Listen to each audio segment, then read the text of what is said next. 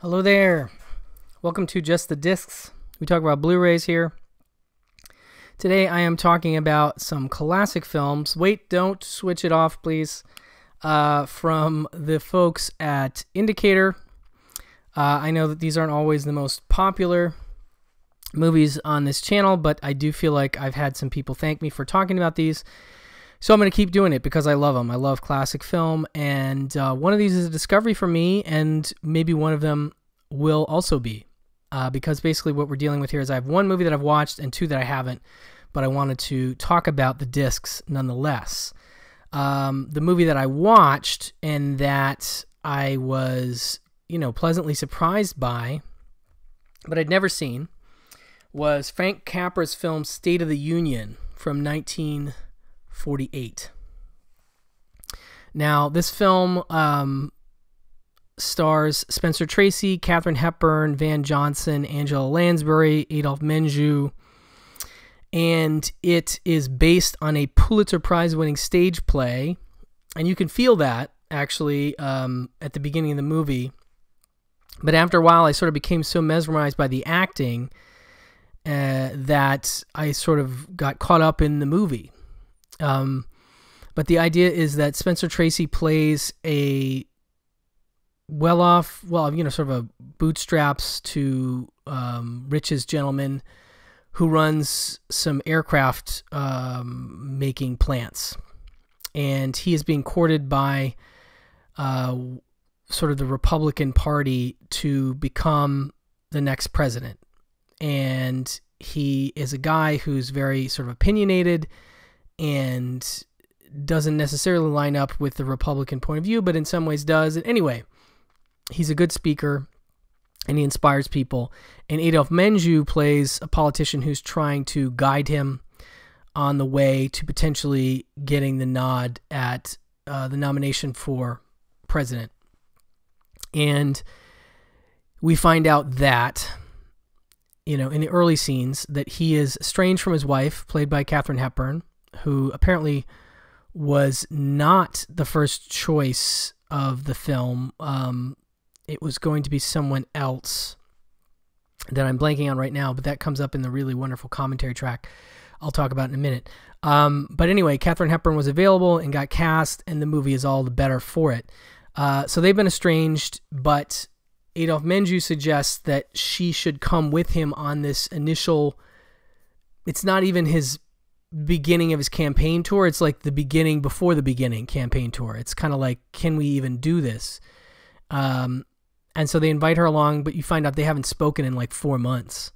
And that it's pretty clearly laid out that he's having an affair with Angela Lansbury, who plays a very driven woman who loses her father at the beginning of the film, but inherits a publishing empire.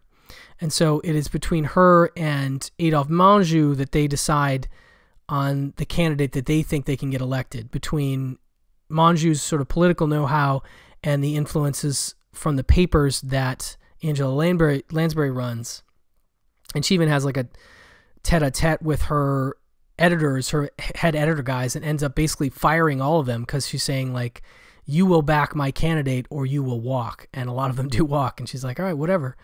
Um, so, anyway, it's interesting to see that play out, that relationship, and Katharine Hepburn's response to it, and how Angela Lansbury has to be involved in some of the events that are part of this political campaign lead up.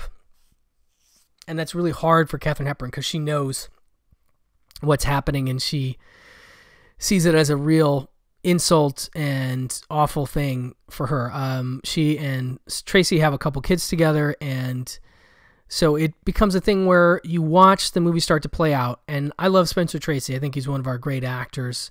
And you're like, okay, is this guy going to be the guy that's and we've seen this in Capra films. It can really go either way. But is he going to be the guy that sticks to his guns and stays the individual that he is and still wins the nomination, or is he going to be the guy that changes and uh, homogenizes his views based on advice he's getting to help him get the nomination? And I'm going to let you watch the movie to decide where it goes. But I do think it's really fascinating how it plays out and the emotional levels that the characters are playing on. And it really, it just really delivered as a as a movie that I enjoyed that I hadn't seen before. Um, I like Capra a good deal, and his films are very rah rah Americana. But this one had that more modern feeling in some ways because of the fact that he's having an affair and it's right out in front, and they don't they don't totally try to cover it up, but they are kind of worried about. It's weird. It's just an interesting like character flaw to put out at the beginning of a Capra movie where you want it to be the most wholesome guy ever. He's not that guy. He is different and flawed in that way, and I, I think I found that really refreshing in some sense.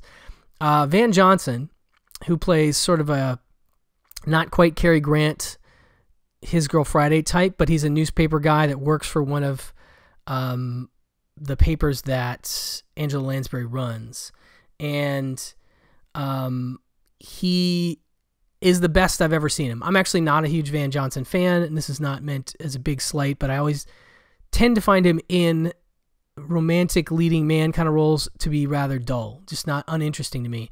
But he's playing the kind of snarky, you know, fast talking dude here, and he really pulls that off. And it's like I said, maybe one of my favorite performances I've ever seen.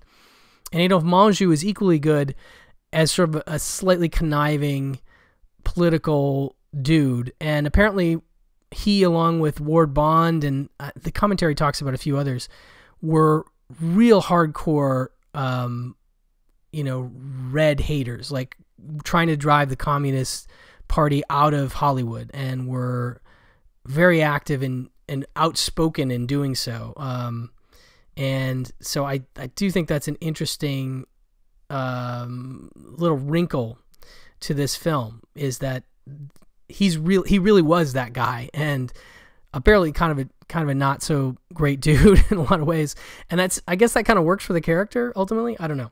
Anyway uh, a very solid movie. And again based on a stage play but feels stagey but is done in such a way and the acting is good enough that i really was pulled into it. So i really dug that. Um, Okay, so this also has a wonderful commentary track that includes uh, Glenn Kenny, his wife Claire Kenny, and uh, Farran Smith Nehme. And Farran Smith Nehme and Glenn Kenny have done commentaries before, but the addition of um, Glenn's wife to this one, they had done specific work on either this film or Capra, I can't remember, um, that makes her a great relevant addition to this group. And it's fantastic. They really they're the ones who talk about Menjou as this, you know, the real character that he was, the real guy that he was.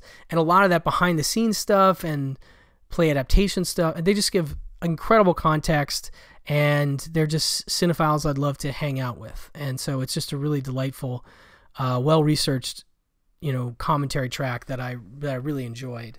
Um, let's see here. Then we also have uh, the John Player lecture with Angela Lansbury. This is uh, an archival audio recording of the celebrated star of film, stage, and television in conversation with Rex Reed at London's National Film Theatre in 1973.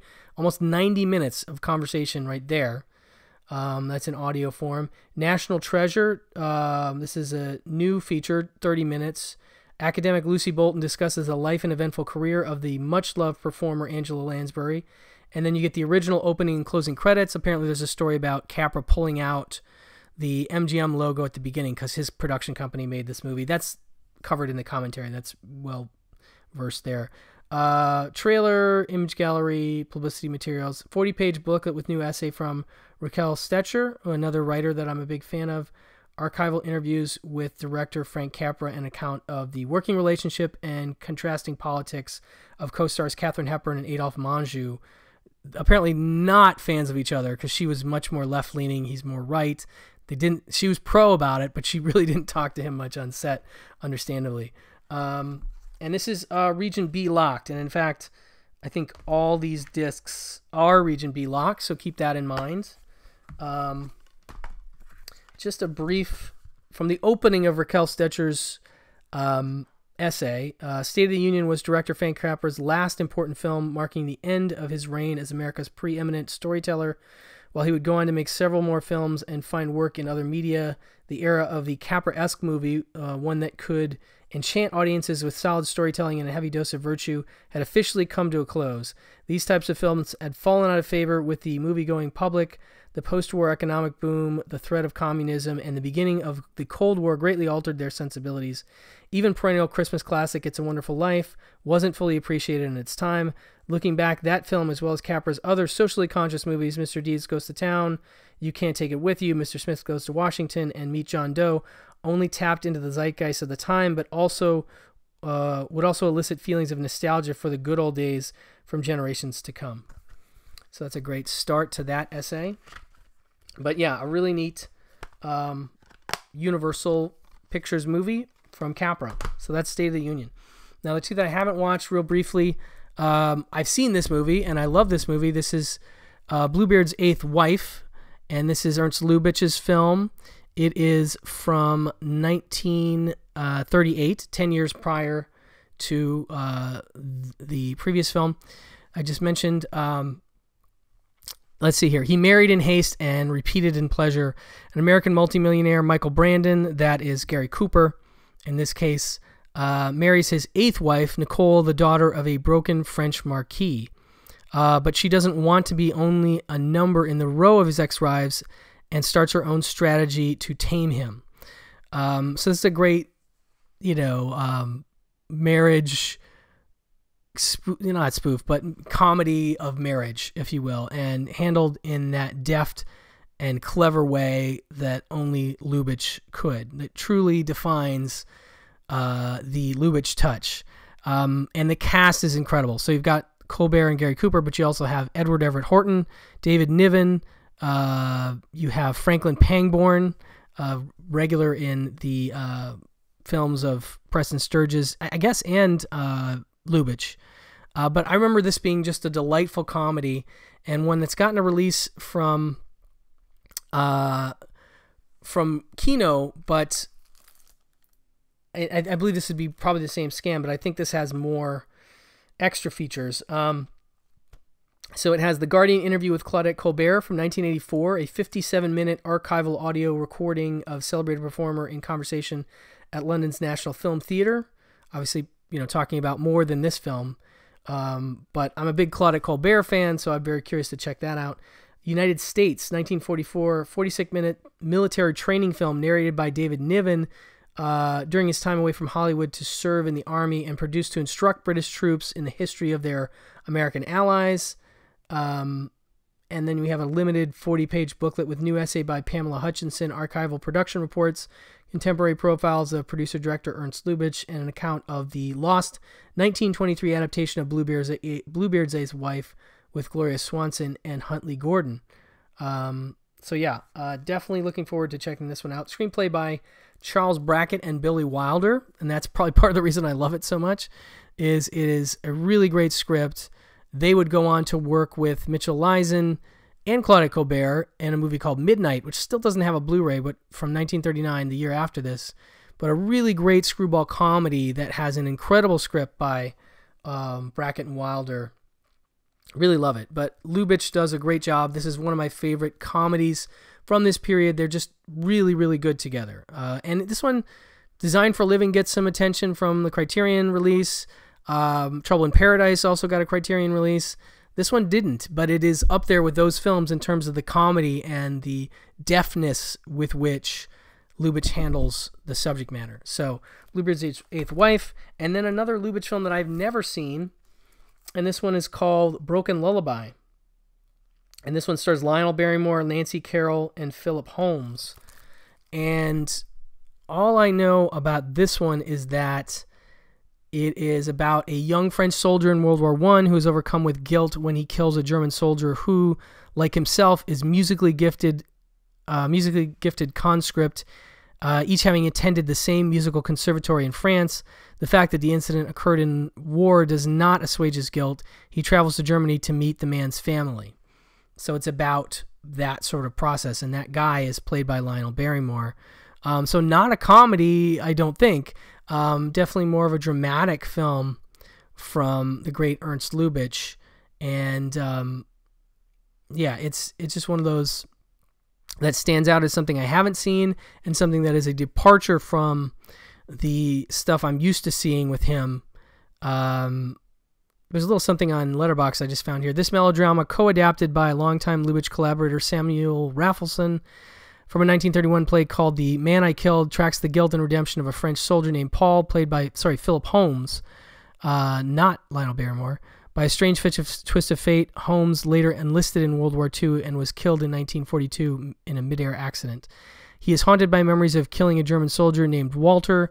He confesses to a priest, but this does him no good. Paul convinces himself that to truly exorcise the demons that plague him, his memory of the killing, he must visit Walter's family, deliver the letter, and confess that he was the man who killed Walter. Instead, overcome with emotion at the great grief of Walter's suffering family, Paul refuses to tell the truth. In fact, he falls in love with Walter's fiancee, Elsa, Nancy Carroll.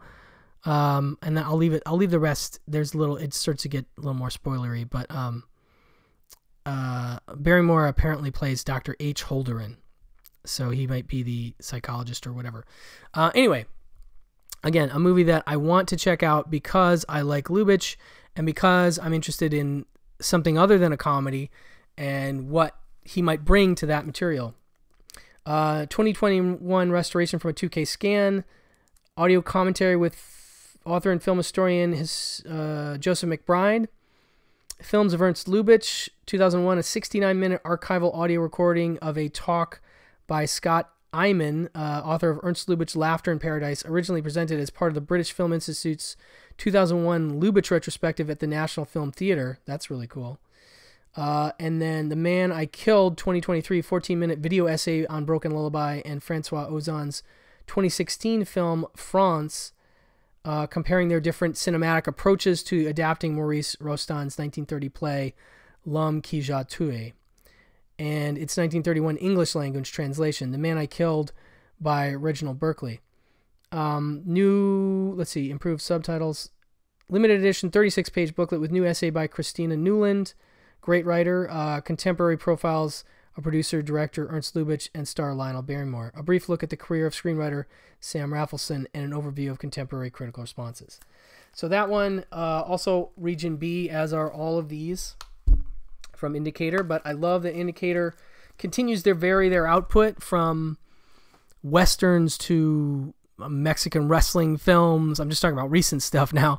Uh, to um, you know Michael Murphy, the Jay Murphy, the horror uh, low budget horror director. I really want to dig into that box set. I hope to cover that at some point. But they've been doing so much great work, and I really hope people are keeping an eye on what they're doing, both stateside and overseas because um, if you don't have a region free player, you're missing out on some really great releases that they are doing that tend to top the domestic releases, certainly in extras and sometimes in transfers and extras, depending on what you're talking about. But anyway, Indicator is great. Powerhousefilms.co.uk, go check them out, follow them on social media, keep an eye on what they're announcing. Um, thank you so much for watching. Thank you so much for listening, and I'll talk to you soon. Bye bye.